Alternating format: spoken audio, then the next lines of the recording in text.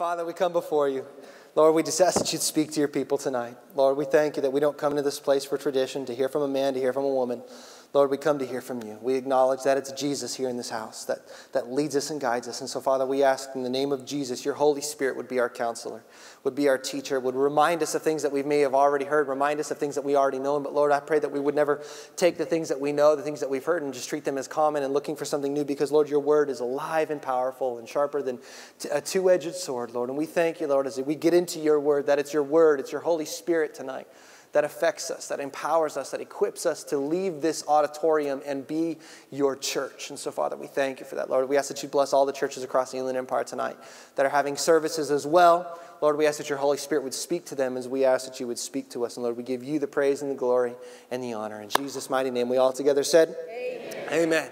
Go with me to the book of Matthew, Matthew in the 18th chapter. Go with me to Matthew chapter 18. We're talking on a subject, last week we talked about it, and, and uh, the, the title of the message is, is The Power of Forgiveness. There's a great power in that. Last week, just to give you a little bit of a recap of what we talked about in the power of forgiveness, we talked about forgiving yourself. And, and if you remember the story I told is, you know, I've got a four-year-old son and a, a three-year-old daughter, and my son had come in, or my daughter actually had come in. She had a rug burn on her leg, and she was showing, kind of bragging to dad about her, uh, her ouchie. And you know, not to be undone, my son Bjorn was like, Well, I got an ouchie too. And he pulled up his leg and he shows a bruise. And then because Bjorn had an ouchie, Emma pulls up her sleeve and she says, Well, I got an ouchie here. And then Bjorn says, Well, I got an ouchie here. And, and they were comparing their ouchies, their, their wounds, their scars. And the, the illustration goes to the fact that, you know, as adults, there's a lot of things that happen to us in the course of our lives, things that, that scar us. Some of those scars that we have in our lives emotionally or, or experientially, some of those scars happen because we're self inflicting them on ourselves, that we've done things, we've made bad decisions, we've said things, or we didn't say things. On the other end of the spectrum, that there are scars that we carry around life that, that, that are because of what somebody else has done to us because of what somebody said to us, because of what somebody did not say, or because maybe when we needed them most, that's when they didn't show up. And so we carry around these wounds, we carry around these scars. And, and if I look to the physical aspect of my own body, there's all sorts of different scars. I've, I've got scars on my hands. I've got a nice little blood blister on my finger right now from a screwdriver that went awry. And you know, those scars, they define us. We, we look at them and we, we remember the experience. We remember what we were doing, or, or we look at that, we say, I'll remember that and I'll never do that again over here, or that was I was being really stupid with this and now I got a good scar from it over here. And, and we allow scars to define us. They become a part of us, they become a part of our character. And just like our physical scars, our emotional scars become a part of us. We carry them around, and whenever somebody or something brings up the memory of that emotional scar, whether it was uh, a tragic event, whether it was somebody that, that did something or somebody that did not do anything when you needed them to do something. Those scars begin to define us. They create in us the personality of who we are. But the Bible has some very important things to talk about when it comes to the subject of forgiveness. And you know, in our day and age, we can try to do as, as many legislations as we can to provide people what the Constitution tells us that every person has the right to pursue uh, life, liberty, and the, and the pursuit of happiness. And so we can try to legislate things so that people wouldn't hurt each other and that people wouldn't wound each other and that we could see justice amongst people. But you know, despite legislation, despite how hard we try, we live in a fallen world. We live in a world where there are some atrocities that happen every day. Some of the atrocities that happen are unimaginable. Maybe you're in this place today and you've had some things that have happened to you in the course of your life that, that you shudder to even think about, to speak about. Maybe it was somebody who was close to you who violated you when you were a child. There's so many women out there nowadays that have gone through all sorts of different sexual type abuses, or, or, or men who have gone through all sorts of different types of abuses throughout the course of their life.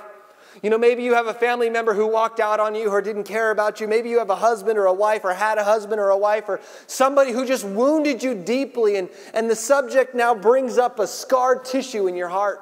And the Bible talks about the subject of forgiveness. And, you know, we, we understand and we know about forgiveness. We, we know that the Bible talks about forgiveness. And as we talked about the Bible looking at what, what, it, what it says about forgiving yourself, we looked at the principles of forgiveness, and I believe that as we look at tonight's message, what we talked about last week apply greatly as well to what we're dealing with this week. And the subject is forgiving others and forgiving those who have wounded you. Some of the wounds that you have in your lives in this place, as, as, as I've sat with counseling sessions, or we don't counsel, excuse me, spiritual guidance sessions, and just heard the stories of some of the people here in the church, it's just heartbreaking to see some of the things that you guys have endured. And, you know, God is not blind to what's gone on, but oftentimes there are so many things in our lives that happen that they define us, and I want to talk about that. And so we talked last week about some things about walking in forgiveness of ourselves, and we just said simply to talk it out and to walk it out. Talk it out with God, to bring your, your, your, your sins, to bring your guilt, to bring that anguish to God and give it to God, to cast it upon Him, to talk it out with others, to share with somebody else, to keep you accountable, to bear one another's burdens, as the Bible says, and to walk it out. The devil's going to tell you every day that you're worthless. He's going to tell you every day that you're a liar. He's going to tell you every day that you're no good, every day that you're, you're, you're used goods. But you got to walk it out every day, every step of the day. Walk it out in what the Word of God says that you are worthwhile, that God loves you, that He loves you so much that He sent Jesus to die for you and for me. And you're not damaged goods, but you are redeemed in the name of Jesus. To talk it out and to walk it out so as we live a life of forgiveness. I believe as we look at forgiving others, those principles apply as well. But today I want to look at some deep things and I want to talk about the subject of forgiveness. And in Matthew, the 18th chapter, I'm going to read uh, a story that Jesus tells Peter. Peter's talking to Jesus, and, and I love it. You know, Peter asks Jesus a question, and he's kind of trying to be kind of trying to be the big man in the question. So he asks Jesus, Jesus, when it comes to the subject of forgiveness, how many times should I forgive my neighbor? How many times should I forgive somebody that does something against me? Seven times? I mean, Peter's thinking, like, that's pretty good. I mean, think about that in a day. Seven times. You know, if somebody comes and, and like, just, just think about something stupid, like somebody comes and slaps you on the face. Jesus, if somebody slaps me on the face seven times in a day, should I forgive them seven times? And Peter's thinking, like, man, I'm holy. I'm holier than thou. Jesus' response in Matthew, the 18th chapter, verse number 22, he says, not just seven times, Peter. He says, but 70 times seven. He says, man, you, you, you can't have enough forgiveness in one day. You can't run out of your forgiveness quota. Now that's not easy for us to get a hold of because you know sometimes you know you're maybe you're around somebody that they may not slap you in the face but man they bug you.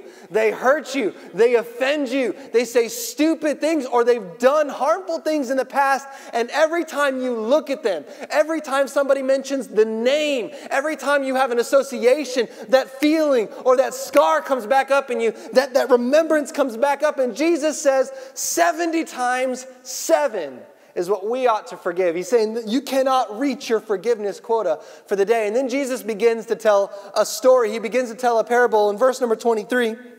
I'll read it to you in verse number, and I'm going to read it in the New Living Translation. The reason I want to read it to you in the New Living Translation is because it describes the, the scale of what Jesus is talking about here a little bit easier for us to understand because in the New King James, you can read along in your Bibles, Jesus talks about talents, and talents are a measurement of weight. Here, the New Living, Living Translation shows us the measurement in money in the context of the parable.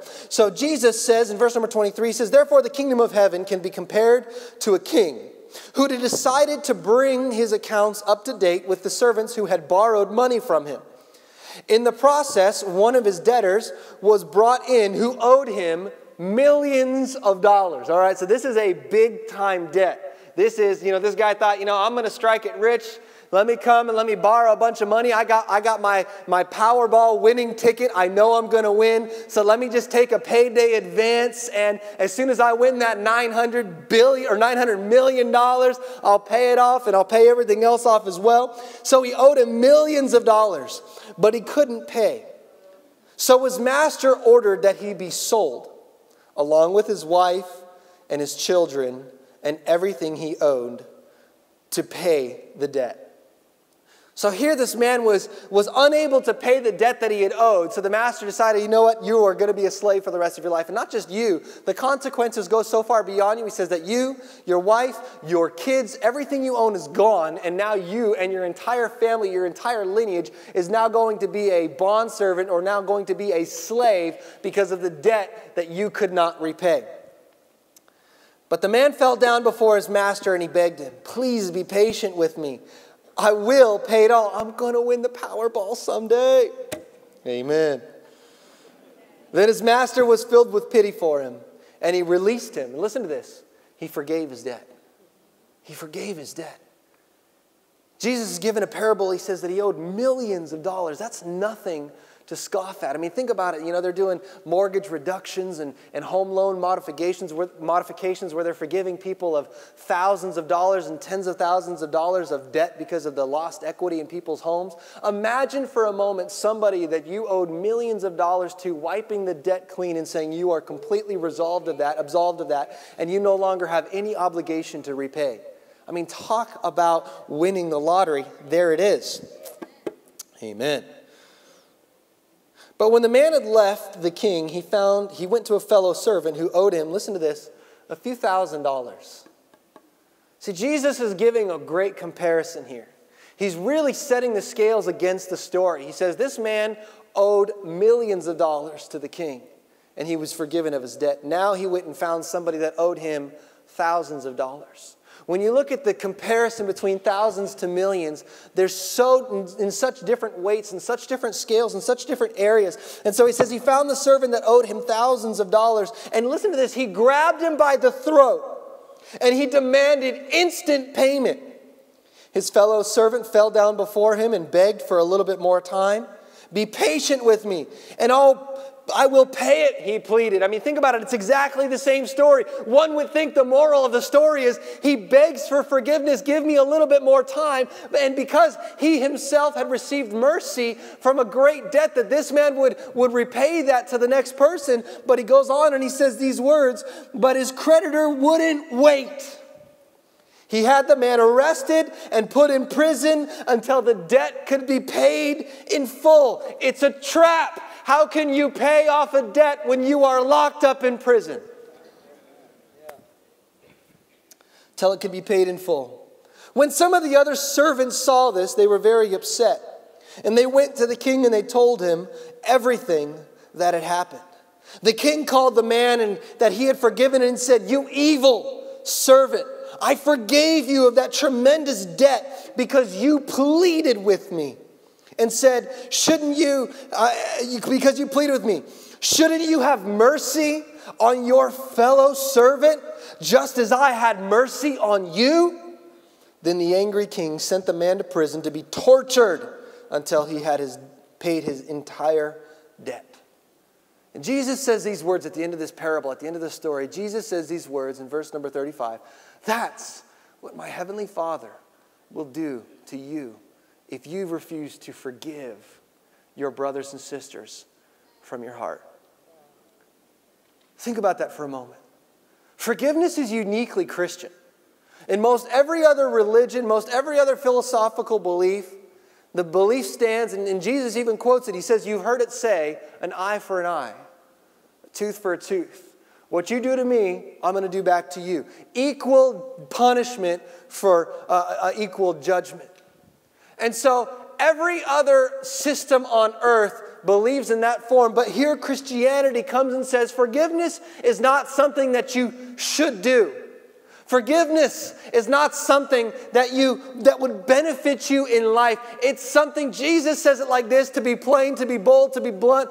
Jesus says forgiveness is something that you have to do. As a matter of fact, it is part of the terms of the conditions of your salvation forgiveness. And the reason why is this story is a parable. It is an image. It is a it is a it is a, a, a, the likeness of us to God. You see, we were given forgiven such a great debt, a debt that we could not repay, a debt that we could not earn, a debt that we could not uh, to, to, to, we could not fulfill. We were in bondage to sin, but yet despite that debt, God sent Jesus Jesus Christ, the Bible says, to be a propitiation or to be the price of our sin to die for us so that we could be forgiven through Jesus Christ. And because we have been forgiven, now God says it is unjust, it is unright, and it is completely contrary to Christian belief and to doctrine for you to hold and harbor unforgiveness in your heart against somebody who sinned against you. Because the Bible says in Romans 3:23 that we have all sinned and fallen short of the glory of God, yet Jesus Christ, God showed in the right time his righteousness towards us. And so forgiveness is not something the Bible says that we ought to do. It's not something that the Word of God says, hey, you should forgive your brothers and sisters. The Bible tells us very clearly, and through the course of tonight, we'll see a couple of different scriptures where Jesus himself and Paul the Apostle and some of the other apostles tell us about forgiveness. It says, you must forgive those who sin or who hurt you. It's a, it's a requirement, and that's what makes it uniquely Christian in the sense that nobody else believes in that. But you see, the great trap, the great pitfall, the great hurdle that Satan uses against us is probably one of the easiest things to, do, to entangle us and to ensnare us, and that's unforgiveness, bitterness, resentment, hard feelings, experiences. Why? Because we carry around those scars. We see those scars, and every time we look at that scar, that emotional scar, we think about that person that might have abused you. Might think about that person that might have abused you when you were a child. You know, I hear stories of people that were abused all the way from their child until the moment they moved out of their house. Every night, abused by somebody. Every time you think of somebody's name, you think of that. Every time you, you hear of a story of, of, a, of, a, husband and wife, or every time you, you see a love story on TV, you think about your marriage that went south and how that person wronged you, or about how they were unfaithful, or how they did wrong things to you. Every time somebody says something to you, it brings back those statements of, of that person that spoke negative into your life. And we begin to harbor those bitterness. We look at those scars and we say, that scar really hurt, and I'm going to hold on to it. And I'm to, and I'm not going to, I'm not going to let that happen to me again. And so because because of that, I'm going to hold it tightly in my hand. And as I hold it tightly, I begin to feed bitterness. I begin to feed resentment. I begin to feed unforgiveness in my heart. And it's the easiest and the greatest trap the devil has for us because he knows the formula that the Bible says, that Jesus tells us in his words, that if we want to be forgiven by God, we must forgive those around us. And the devil wants you, the Bible says that Jesus said that the thief comes but not to steal, to kill, and to destroy. So make no qualms about it. The devil wants your life destroyed. And the easiest way to destroy your life is to feed you or to allow you to remain the same and to, to live in what seems to be human nature. But Jesus says no, because through all things, we can, through Christ, all things are possible. So what seemed like it was impossible, forgiveness, now because of Jesus Christ is possible to you and I. Therefore, forgiveness in your life is not a suggestion of God, it is a commandment and a requirement of God to you to forgive those who have hurt you. And that's hard. That's deep. You know what? It even seems downright impossible. And I think what happens when we look at forgiveness, and today when I want to take a look at what the Word of God says about forgiveness, I want to just take a quick moment to look at what forgiveness isn't. Because so often we think of forgiveness and we, we have these kind of myths or we have these, these, these kind of thoughts that, well, forgiveness means that I have to do this or forgiveness means that I, that I must do this. And I want to talk about what forgiveness isn't and then, in contrary to what forgiveness isn't, to look at what forgiveness really is. And then we can take a look at what the Bible says on what we can do to start. And here's what I want to say I'm going to tell you right now what we can do to start the process of forgiveness because in the next 17 minutes, I cannot give you a formula that will lead you to forgive everything that has happened to you because some of the things that have happened to you in your life should not even be mentioned, should not even be uttered. And, and the, the, the, the, hardest letter of the law should result in death sentences to what people have done to you and against you. And so in 17 minutes, I can't absolve that. And as a matter of fact, nobody can except God. But what we can do is lead you to the place in the Word of God where you can start the process of forgiving people around you and the things that have happened to you today to start climbing that mountain of forgiveness that we often need to climb. So today I want to look at what forgiveness isn't and what forgiveness is. All right, forgiveness first. Number number one, uh, it's not numbers. I don't, I don't I don't do numbers, but one of the things that we see that forgiveness is not. Forgiveness is not forgetting what happened.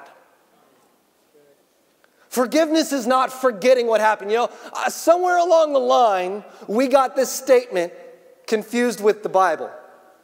You know what the statement is? Forgive and forget. Forgive and forget. Somebody hurt you, forgive and forget it. Forgive and forget it. Forgive and forget it. You know, the Bible tells us that the Lord, He takes our sins, He takes our transgressions, and He casts them into the sea of forgetfulness. But you know, as humans, we don't have that divine ability.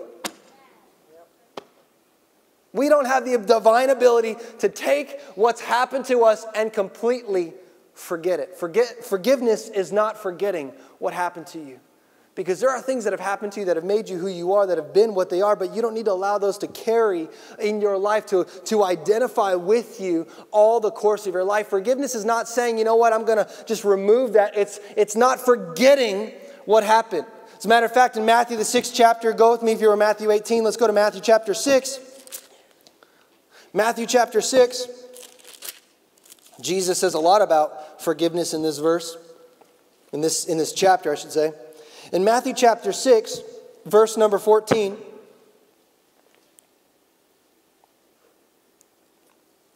he says, For if you forgive men their trespasses, your heavenly Father will forgive you. But verse number 15, but if you do not forgive men their trespasses, neither will your Father forgive your trespasses. That's a pretty heavy statement. Today I want to focus on the word forgive. The word forgive right there, the Greek word for forgive, literally in the sense means to walk away from. As a matter of fact, the same word in different senses in the Greek language. You know, when I say sense, like I can say I love pizza or I love my wife, but the sense of love is different. You understand what I say by sense? I don't love my wife the same way I love pizza. Amen, baby girl? I love you a lot more. the Greek word for forgive in the sense literally means and is used in the New Testament like this to walk away from, to leave, or to divorce. So here Jesus isn't saying, okay, if your brother sins against you, Pastor, look, I love what you're talking about. He, you just said divorce. So if my brother sins against me, amen, I could divorce them. I can walk away from them, stick the hand in the face, and say, uh uh uh, no more. I'm not going to associate with you. No, Jesus says to walk away from the offense to divorce, to separate, to leave literally behind the transgression that happened to you. He doesn't say to forget it, but he does say to walk away from it.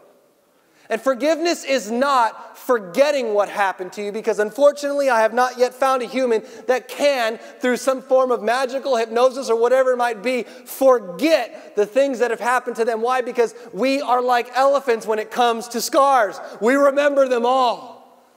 But we can choose to divorce it. We can walk away from it. We can say, you know what? I'm not going to let that define me any longer. I'm not going to let that control me any longer. I'm not going to let that be who I am. Forgiveness is not uh, forgetting what happened, but forgiveness is choosing to let it go. You see, many of you in your lives were victimized by somebody else. Whether you were victim, victimized by words of what they said over you, literally victims to some sort, sort of abuse, victims to circumstance or situation, you were victimized. And so often, what happens in the victim mentality is we begin to think of ourselves as victims. But Jesus says, if you forgive, if you divorce the oppression, if you let go of what happened to you, my Father will divorce, take that transgression that was held against you, and he will literally walk away from it, cast it into the sea of forgetfulness, and bring it back no more. He will do the same to you. And so Jesus is saying to you and I, to that sin, to that transgression, to that scar, to that wound that that person has given to us, he says, divorce the offense. And when you do, you are making the choice to say, I'm no longer going to walk out my life as a victim of abuse. Now I am going to walk out my life as a victor in Jesus Christ. Because what I have done against God, He forgave me. Now I will walk away from those things that have been done to me, just like Jesus did with my sins against Him. Forgiveness is not forgetting what happened to you, but it is choosing to let it go, to divorce it, to walk away from it. Forgiveness is not condoning what happened. So often we think if I forgive somebody, what I'm doing is I'm actually just telling them that it's okay of everything that they did. I'm condoning your actions. You know, I remember a long time ago, The very first schoolyard fight I got into, I remember, the, I remember the guy's name was John, and John was like the cool kid, and, and he was the tough guy in school, and, and, and it was back in school days when tetherball, when you would hit that ball on a string, and, and everybody waited in line to play tetherball, and I said some words to John, and John challenged me to a schoolyard fight. And I remember that we got in a circle like everybody did, and we started swinging at each other, and John, he was a tough guy. He didn't even, he didn't even defend himself against me. He just said, Give me your best shot. And I tried to wail on him a little bit, and he just said, Okay, now it's my turn. And he beat the daylight out of me. you know what's funny about schoolyard fights, though? Is schoolyard fights the next day, John and I were like best friends. Like the fight never happened. Like we needed to scuffle it out and kind of get out beyond it. And that, that everything else behind that was, hey, you know what, man, no big deal. We just kind of had to get that aggression out. And now, now we see that we're not so different, you and I, and, and, and let's be friends. And so often, what we think of when it comes to the Bible mandating that we forgive somebody else is that we condone their actions by saying, hey, you know what? It's no big deal. Everybody does it.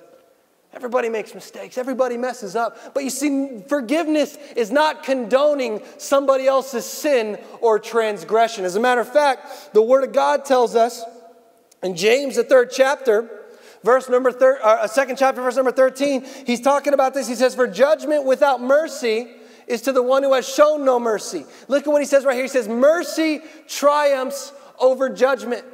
So often, what happens is in our, in our victim mentality, in the transgressions that happen to us, we want judgment to happen to that person. Why? Because we don't want to condone what they did. Somebody wronged me, I want you to pay the price for wronging me. Somebody murders somebody, I want to see you have the worst possible outcome in your life capital punishment, or I want you to live the rest of your life out in prison so that you could harm nobody else. But you know, there's case after case after case of people that have sat through the execution of the somebody that took a loved one of their family and they said that watching that person die brought no fulfillment or closure to their lives. Yet we think in our mindset that I can't, I, I can't forgive somebody because forgiving them is going to condone them. But you see, forgiveness is not condoning what somebody did. Forgiveness is walking in the mercy of grace. Because you and I did not deserve forgiveness from Jesus Christ. And in our forgiveness, God did not condone your sin. God didn't say through Jesus Christ, hey, you know what? Listen, when it comes to sin, hey, hey, hey, hey, everybody does it. It's no big deal. Let's get, let's just, let's move on. Let's, let's just be friends. He didn't do that. Why? Because our sin had a price to pay. Our sin had consequences. But you see, instead of, instead of condoning it, Jesus embraced the price. He recognized that our sin cost a lot. And he said, You know what? What I'm going to do is I'm going to walk out in grace, unmerited favor of God.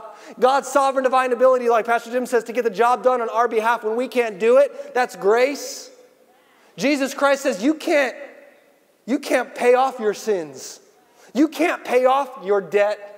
But I'm not going to condone it. I'm not going to tell you no big deal, but I'm going to pay the ultimate price for it and redeem you from it. Forgiveness is not condoning what somebody else has done against you. Forgiveness is walking in the grace that Jesus Christ walked in when he forgave you and he forgave me the sins. That's what forgiveness is. And you know what? The person that transgressed against you, whether it's something big or something small, you may never see judgment here on earth.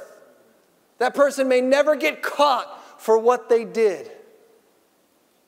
But walking out in mercy because mercy triumphs over judgment. Because where would we be if God was not merciful to us in our transgressions? Pastor Luke, are you trying to say that my sin is as great as the person that transgressed against me? Of all the things that I've done bad in my life, I can't think of anything that would amount to what that person has done or what the worst person on earth has ever done. I mean, the things that people do, the things that people are capable, Pastor Luke, I just, I can't even imagine that. But you see, Romans 3.23 tells us that we were all on the same playing field with God, separated by sin. But yet, because of our sin, and despite of our sin, Romans chapter 5 tells us that Jesus Christ died while we were sinners to redeem us from the law.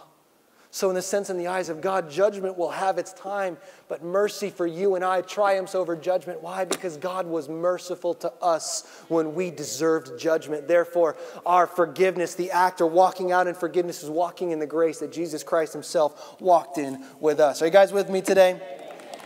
Forgiveness is not ignoring how you feel. I feel. I'm an emotional person. Anybody else in here just say you're an emotional? Can you agree? Can, you, can anybody else be like, Pastor Luke, I'm an emotional? Some of the men in this place are like, aim, no, no, I'm a wall. Man, we are emotional. You're just emotional by yourself. You know that when you watch Pride and Prejudice alone, you'd be crying. You see, God created us with emotions. God created you with emotions. You, you have God given things like anger, like sadness, like happiness, like joy. God gave you the ability to express and to feel emotions. As a matter of fact, God Himself expresses and feels emotions, and forgiveness is not ignoring how you feel, but sometimes what happens is we allow emotions to control us. I don't feel like forgiving you right now. Let me just live out in my, my anger for a little bit longer. Anybody ever wanted to stew about something for a little while? Man, I'm a stewer.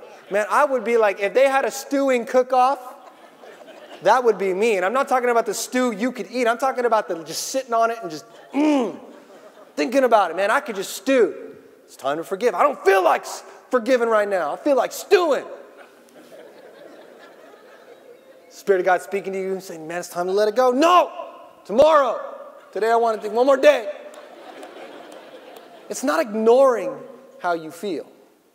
Because God gave you feelings, but it is choosing not to be controlled by those. God gave you emotions. Colossians chapter 3 says, bearing with one another and forgiving one another. If anyone has a complaint against another, even as Christ forgave you, you must also do. See, Jesus didn't ignore how he felt in the Garden of Gethsemane when he was praying and asking God if there's any opportunity for this cup to pass by me. When he was so stressed out about the price that he was about to pay that his sweat was like blood coming out of him. You see, Jesus didn't ignore that. He just recognized that the tail end of that, he recognized that the other side of the hard reality of facing forgiveness, even though it hurts and even though it's costly, he recognized that there was a benefit to that and he embraced the price that he paid. And so forgiveness is not ignoring how you feel, but forgiveness is decided in the heart. It's decided in the heart. It's a decision that you're going to make on the inside of your heart to say, I don't feel like forgiving you. To be honest, you could say and you could cry out, I hate you for what you did. But forgiveness, it's not ignoring what that happened but it's deciding. Deciding I'm not going to allow that emotion to control me. I'm not going to allow that low point of my life to dictate who I am. I talked about it last week in forgiving yourselves, man. I am an emotional roller coaster. My wife will tell you, I'm, she's not, babe, you can't nod like that, all right? You got to nod a little bit less. I'm like Mr. Up and then like boom, Mr. Down. And then like Mr. Up and boom, like Mr. Down. Like probably ought to just take some medication for it. I don't even know. I'm just, no, I'm just kidding. And one of my mentors was like, Look, you are way up here, you are way down here. You cannot allow yourself to be controlled by your emotions. You have control over your emotions. And forgiveness is deciding in your heart to make that decision. You know what? I'm going to let it go. I'm going to do not what I feel like doing, I'm going to do what Jesus Christ says I can do. Because Jesus Christ embraced the cross for me. The Bible tells us that Jesus, when he rose from the dead, that his scars were still in his hand and still in his side. They didn't go away. Constant reminder of the price that he paid for you and I. He didn't ignore it, but he did embrace the cost. And forgiveness is going to come at an expensive cost for you and I. But it's doable, it's attainable, it's achievable through Jesus Christ. Forgiveness. It's not forgetting what happened, it is choosing to let go. It's not condoning what happened, it is walking in grace. It is not ignoring how you feel, but it is decided in the heart. Jesus says these words in Matthew, the 18th chapter, we were there, verse number 35. He says, If each of you from his heart does not forgive his brother, you know, forgiveness is not the words, I'm sorry. You ever been that way? Say sorry. Oh, I'm sorry not forgiveness. Forgiveness is deciding whether or not the apology ever comes your way. Because there are people that may never apologize for what they've done. But it's a decision that despite you hurting me, despite you saying, I'm sorry, I'm going to decide in my heart to divorce myself from that offense, to let it go, to walk away from it. A couple of years ago for Father's Day, our video department produced this really cool little video some members of our church put it together. And I just thought it was a really neat little illustration of the decision of forgiveness in the heart. Check it out.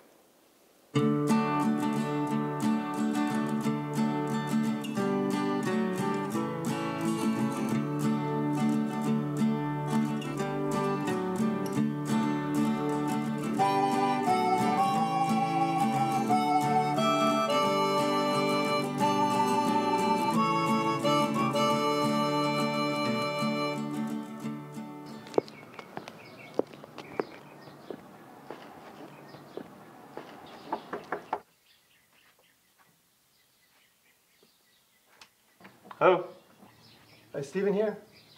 Who's asking? Uh, it's me, your dad. Um, uh, sh- sh- come on in.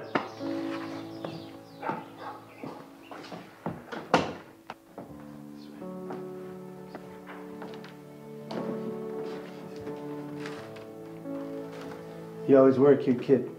That's actually my son.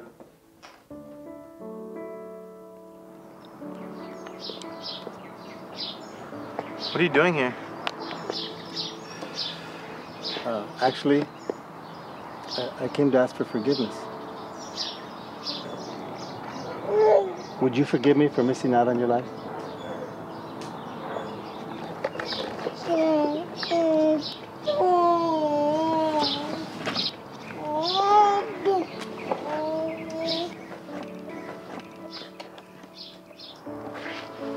So, how old is he? He's actually the same age I was when you left me.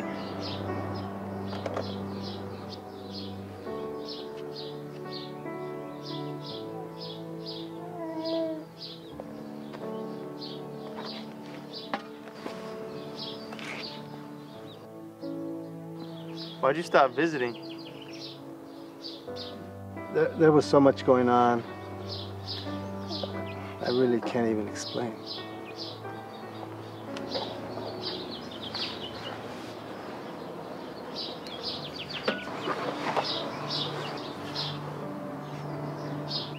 I missed you, Dad. Glad you're here.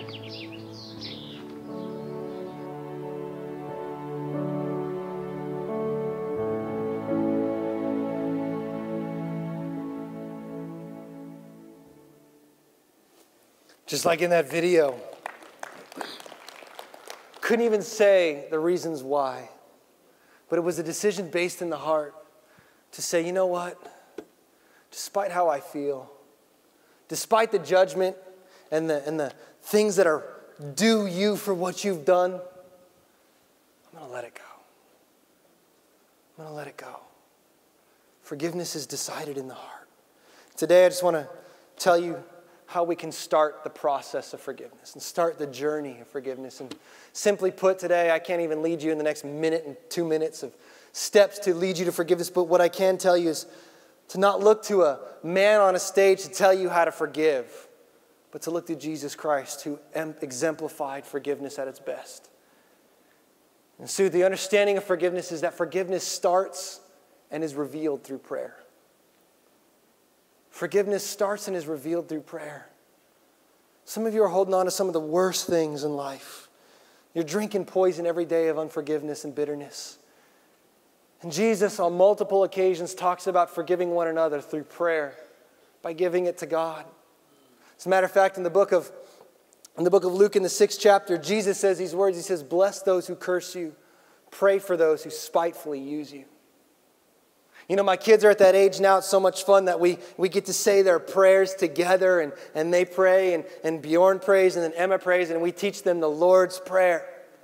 You know, in Jesus' own model prayer, Jesus says these words Forgive us of our trespasses as we forgive those who trespass against us, or forgive us of our debts as we forgive those, our debtors. You see, in the prayer that Jesus says, when you pray, pray like this. Jesus says, Lord, forgive us as we forgive others. Because you know, sometimes forgiveness seems like that mountain when you look at it. You say, God, I can't even seem can't even see the summit. I can't even seem to get over it. I can't seem to get beyond the issues that have happened in my life and the things that people have done. My marriage is a wreck. My life is a wreck. My life is in pieces because of that person or because of that, that circumstance or whatever it might be. And I don't even know how to get to the top of that and to the other side. Jesus says it starts with prayer. To go to God in prayer God, forgive me and teach me to pray, to forgive those. I remember I was in, in, a frustrating moment when I called Pastor Jim and Pastor Deborah and I said, Mom, Dad, I need help. What do I do in this situation? They said, Pray for that person. Are you kidding me? I thought you were going to tell me give them a piece of my mind. No, pray for them. Pray for them. Pastor Luke, are you telling me to pray for that person that abused me? Are you telling me to pray for that person that spoke so poorly of me? Yeah. That person who lied about me? Yeah. That person who hurt me? Yeah. It starts and it's revealed in prayer. As you pray, as you go to God, God begins, begins to speak to you hey, don't think those thoughts anymore. Don't say those words anymore. Let it go over here. I've got you on this, and I'm going to do something in their life and you begin to relinquish through prayer your right to judgment. And you begin to pass on the fact that God, my life is in your hands. And I surrender the outcome of my life completely and solely to you and your discretion and your judgment. Forgiveness starts and it is revealed in prayer. Jesus includes it in his prayer. And sometimes we look at that mountain of forgiveness. Sometimes we look at that mountain and we say, There's no way I can get over it. There's no way I can get beyond it. Mark the 11th chapter, verse number 23. Jesus says, For I say to you, whoever says to this mountain, Be thou removed and cast into the sea, and does not doubt in his heart, but believes these things that he says, it will be done, he'll have whatever he says. Look what verse number 24 says Therefore I say, whatever you ask when you pray, believe that you receive them, and you will have them. It's a pretty cool faith statement. Amen. Mountains moving. Look what verse number 25 says. And whenever you stand praying, if you have anything against anyone, whenever you stand praying, whenever you stand praying, what are you praying for? That mountain to move. And Jesus says, when you're talking to that mountain, talking about moving, whenever you stand praying, if you've got unforgiveness, let it go. Forgive him, that your Father in heaven may forgive you of that trespasses. You know, sometimes that mountain that you need to be moved, that you need to move, is not a mountain that you're looking at. Sometimes the mountain that needs to be moved is the mountain of unforgiveness on the inside of you. And Jesus says, You can speak to that mountain and say, Be thou removed. Offense, be thou removed.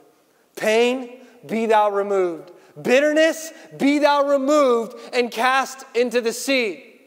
And it starts in prayer by going to prayer for the people that hurt you, for the people that wound you, for the people that use you, for the people that have, that have, that have transgressed against you, for the people that have done unforgivable things, to say, God, help me to forgive them because you have forgiven me. It starts in prayer.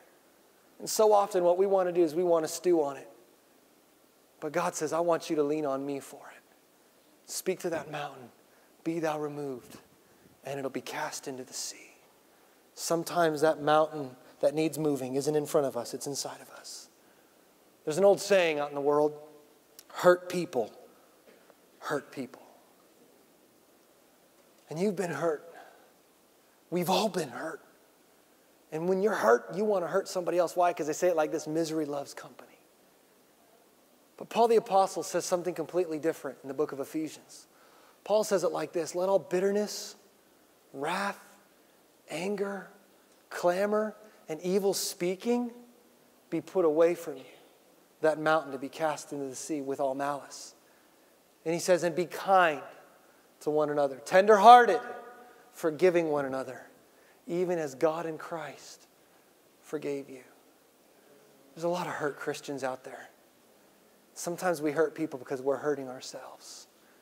But you see, you don't have to live in unforgiveness. Why? Because Jesus Christ said, Listen, I gave you forgiveness, mercy, and grace. Not so that you could live life and be happy, so that you could give it to the world, so that you could extend the opposite culture of what our society says, an eye for an eye, and to bring that spirit of tenderheartedness, that spirit of mercy, that spirit of grace, the spirit that says, I'm going to pray for you when you hurt me. You've wounded me, and I'm going to bless you. What? Because that's what Jesus Christ did for each and every one of us. And when hurt people hurt people, blessed people bless people. And you don't have to be a hurt people who hurts other people because Jesus Christ forgave you of your iniquities and your sins, and He forgave me of my iniquities and my sins. And although it might seem impossible for us to do it, we don't have to be hurt people, hurting people. We can be, because of Jesus Christ, through the commandment of forgiveness, a blessed person who blesses other people. But it starts and it's revealed in prayer. This week, remember forgiveness, it's not forgetting what happened. It's not condoning what happened and it's not ignoring how you feel. But it is choosing to let it go, divorcing yourself from that. It is choosing to walk in grace and in mercy. And it is deciding to start in your heart. Whether or not that person ever says, I'm sorry, you say in your heart, I'm going to let it go. Because that's what Jesus Christ did to us. And how do we do that? It starts and it's revealed in prayer with God through Jesus Christ, leaning on it. Talk it out, Walk it out. The power of forgiveness in Jesus' name.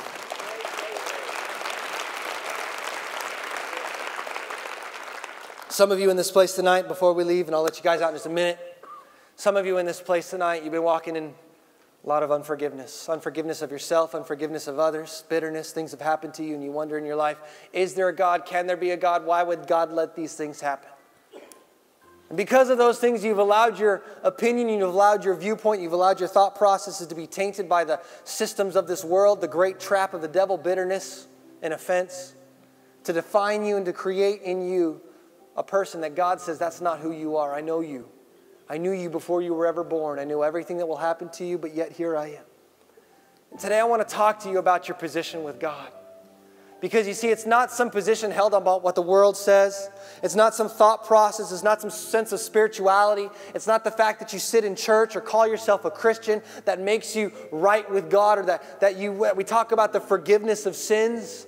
It's not because you say to somebody who hurt you, I forgive you, and then all of a sudden everything's right between me and God. Something has to happen before any of that happens, and that is you and I surrender our life to Jesus Christ. You, see, Jesus said these words. He said that He is the way, the truth, and the life. And He says, No one goes to the Father except through Him. You see, oftentimes in our society, we like to think, well, you know, through spirituality, through different senses of religion or, or spiritual concepts, all roads lead to heaven. But let me tell you something. You can't get to heaven your way. You can't get to heaven some well meaning church committee's way. You can't get to heaven some spiritual guru's way. The only way you and I can get to heaven is through what Jesus Christ, God Himself, says, and that is Jesus, Jesus is the way, the truth, and the life. And no one goes to the Father except through Him. It's not about your religious affiliation. It's not about your church attendance. It's not about your thought processes. It's not about your spirituality your heightened sense of spirituality. Listen, it's not even about your good deeds. It's all about your heart between you and God. The book of John, in the third chapter, Jesus is speaking to a man by the name of Nicodemus, and Jesus says these words to Nicodemus In order to inherit the kingdom of God, you must be born again. Born again, that's a weird statement. You know, Hollywood and society has made that out to be like weirdo Christianity, you know, kind of flopping on the ground, crazy, out of control. But listen, from the beginning of God's word to the end of God's word, born again has always meant the same thing in the heart and the eyes of God. It means that you've given all of your heart, it means that you've given all of your life to Jesus Christ. Jesus says these words in the book of Revelation. He says, speaking to a church, people like you and I, he says, Listen, I'm going to return And when I come back, I'd rather find that you're hot. I'd rather find that you're cold. He says, because if I find that you're lukewarm, he says, I'm going to vomit you. I'll reject you out of the kingdom of God, out of my mouth. And what Jesus is saying to listeners, I'd rather find you all the way and all the way out. I'd rather find you something rather than a little bit of nothing. What is lukewarm? Lukewarm is occasional church attendance, token prayer every once and again, kind of doing your own thing, kind of doing God's thing. Jesus says, Listen, I didn't die on a cross so that you could have a religious affiliation. I didn't die on a cross that you could wear a cross around your neck. I didn't die on a cross so that you could go to church and think everything's good. Jesus says, I died on a cross so that you could be forgiven of your sins. And it comes by accepting Jesus as your Lord and Savior. The Bible says that if you believe with your heart and confess with your mouth that Jesus is the Lord, you shall be saved. It says, if you believe unto salvation, with the heart, with the mouth, one confesses, and with the heart, one believes. Today, I want to give you the opportunity in your life right now to change the position, the place in which you stand. Maybe you've been holding on to unforgiveness in your heart. Maybe you've been letting bitterness speak to you every day. You've been stewing. You don't feel like moving beyond. But Jesus Christ said, Listen, I didn't feel like going to the cross, but I did it for you because you're worth it. Jesus says, Now it's time for you to go beyond how you feel because life is worth it. And earlier today, I quoted John the 10th chapter. It says, The thief comes to steal, kill, and destroy. But Jesus said these words I have come that you would have life and that you would have it more abundantly. You see, Jesus Christ came that you would live, that you would be forgiven of your sins, and that you would walk around this world with the glory of God, giving mercy and grace to those who didn't deserve it because you and I didn't deserve it when He died on a cross, yet He did it for us. Today, I want to give you the opportunity to accept Jesus into your life, to change your destiny from this moment forward, to be a part of the body of Christ, to be born again, as Jesus says. And how do you do that? Jesus said these words He said that if you confess Him before men, He said, I'll confess you before my Father. He says, but if you deny Him before men, He said, I'll deny you before His Father. The decision's yours. God's not a manipulator, He's not a conniver. So often people think, well, if God really wants me, God will take me. Listen, God wanted you so much, He sent His, his Son, Jesus Christ, to die for you and to die for me on a cross. It wasn't glamorous, it wasn't pretty, beaten beyond recognition. A bloody pulp died on a torturous death. The cross, we see it as a symbol of salvation. The cross was a symbol of torture in Jesus' day, yet He embraced it for us because He loved us so much. He did everything He could. And now the decision's for you and I to freely and willfully choose Jesus for our heart, for our life. Today, I want to give you the opportunity to make that decision. In a moment, I'm going to count to three. I'll raise. I'm going to count to three when I go one, two, and the count of three, I'm going to go three. And I'll smack my hands together. I'm going to ask you to do something real bold. I'm going to ask you to pop your hand up. What you're doing by the raising of your hand is you're saying, you know what, Pastor Luke, today I want to give my heart. I want to give my life to Jesus Christ. I want to surrender my life. I want to go forward with my position with God. I want to get forgiven of those sins, of those things that I've been carrying around, and I, I want to walk in forgiveness in my life. I want to have life today. You see, I'm a man, I'll see your hand, I'll acknowledge it. you. You put your hand right back down, and we'll go forward together from there. I'm not here to embarrass you, to call you out, or do anything like that. I'm here to support you. It's my life's work to build you up in the ways of God. And it starts today by making that decision to follow Jesus Christ. If you've never given your heart, you've never given your life to Jesus, if that's you in just a moment, get ready. When I count to three, pop your hand up. If you're not sure, maybe did this as a child, but you kind of just been not, not, not, not certain in those feelings, kind of like, I don't know. As you walk out of this place today, don't walk out uncertain. Today, this is the moment of your salvation. Walk today. Make sure. If you've been living lukewarm, doing your own thing instead of God's thing, you've been holding on to that unforgiveness, you've been holding on to that bitterness, it's time for you to make the commitment to follow what Jesus Christ set the example is, and that's to forgive you of your sins and to forgive those around you. And today, stop being lukewarm. Stop living halfway in for Jesus Christ. But today, let's go all the way for Jesus in this place. Jesus says that nobody comes to the Father unless he is drawn. And I believe right now it's not me speaking to you, but it's the Spirit of God right now in your heart saying, It's time for you to come home. You've had dentist and doctor appointments. Now it's a divine appointment between you and God. And the time is now for you to respond to the calling of Jesus Christ on your life, to invite you to come home, to have life through Jesus. Stop living in the emptiness that you've been living in and accept life through Jesus Christ today. I'm going to count to three. And when I do, if that's you, you pop your hand up. I'll see it, I'll acknowledge it. You can put it right back down, and we'll go forward together from there. You ready? I'm going to count to three. And when I do, all over this auditorium, front, back, front row, back row, side to side, you guys in the family rooms, whether that's you, if you're outside watching on the televisions, wherever you're at, this is your moment. This is your time. Even if you're at home right now on the live stream, you can do it. Click the little button that says uh, respond to God, and you can do it that way as well. But today, this is your moment. This is your time. You ready? Here we go. One, two, Three. Let me see your hands in this place today. I see that hand. One over there. Two, I see that hand. Three, I see that hand. Three wise people. Anybody in this place? Anybody else in this place today? Say, man, I wonder if I should. Ushers are pointing over in this direction. Where you at? Four, I see you back there in the back. Anybody else in this place? You say, man, I wonder if that's me. feel the Spirit of God speaking to me. I see the ushers pointing over here. Four wise people. Anybody else in this place today? Five, I see you right there, sister. Five wise people. Anybody else? I'm going to close it up. I went a, bit, went a little bit late. This is your moment. This is your time. Anybody else today? See the ushers are pointing. Six, I see you back over there in the very back. Number seven, number eight. Come on, this is your moment. Anybody else today? Let's give the Lord a great big hand for six wise people. Here's what we're going to do. You make the decision. You're saying, you know what? I am deciding, like that song says, I have decided to follow Jesus. No turning back. But did you know that logic tells us that any decision without action is no decision at all? Nothing's going to change because you decided to do something. You got to act on that decision. And today we're going to follow through your decision together. We're going to change destinies together. I want to be a part of changing destinies with you. So if you raised your hands, all six of you in this place, maybe you're number seven or number eight, number nine, number 10, you didn't raise your hands, but you should have raised your hands. You know the Spirit of God's calling you right now. In a moment, we're all going to stand as we do. My buddy, oh, no, no, I saw, I didn't see my friend Tiva over there. She's going to sing a song Elijah's going to play. I want you to grab your coat, your sweater, your purse, your Bible, a friend if you need a friend, if you brought family, come on, get, bring your family, say, come with me. Or if they raise your hand, say, you know what, come on, I'll go with you. And get out of your seat, get out of your chair, come meet me right here in this aisle. We're going to change destinies together right here, right now. So let's all stand. If you raise your hand in this place, this is your moment. This is your time. Come on, come meet me right here. Let's change destinies together.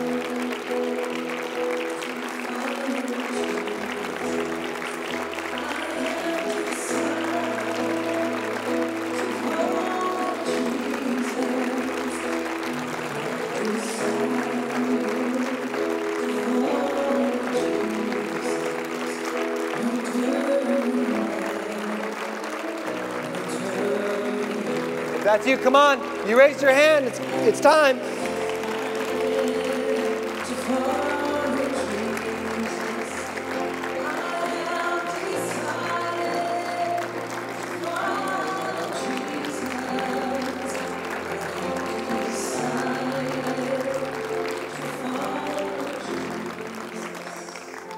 Hey guys, you came. I want to just tell you something. Feeling that weight right now, but you remember how we were talking about that story? Jesus told that story, the guy that was forgiven. He's forgiven a debt of millions of dollars. Hey, you are, you're about to be forgiven of the greatest debt humanity ever had, about to have everything wiped clean. It's like winning the lotto. Your future is no longer undecided. Your future is heaven, paradise, Jesus Christ. That is cause to celebrate. Good job. We like to say it like this you're not going to a funeral, all right? You're going to a birthday celebration. Today's the first day of the rest of your life. You're going to get born again today, February 10th, 2016, your new birthday. Here's what I want to do. I want to introduce a friend of mine to you. See this guy right over here waving at you? His name's Pastor Joel. Pastor Joel's a really great guy. He's going to do a couple things. He's going to take you guys just right over there. Nothing weird goes on, okay? He's going to lead you in a prayer. You're going to invite Jesus Christ to come into your heart, come into your life. He's going to give you some free information so that you walk out of this place. We're going to help set you off on the right foot so you can start living that life the right way. Third thing he's going to do is he's going to invite you to come back to hang out with somebody here at the church. We got them, we call them spiritual personal trainers. They're going to be somebody that will meet with you. They'll buy a cup of coffee, a soda right over there in a Love Rock Cafe. They'll meet with you before a church service. Sit down with you for a couple of weeks to teach you some things about the Word of God to get you strong in the ways of God, that you don't go back to your life and you don't walk, you don't walk back to where you're walking away from, but you go forward in your new future with Jesus Christ. So if you guys just turn to your left, my right, go right over there my buddy, Pastor Joel.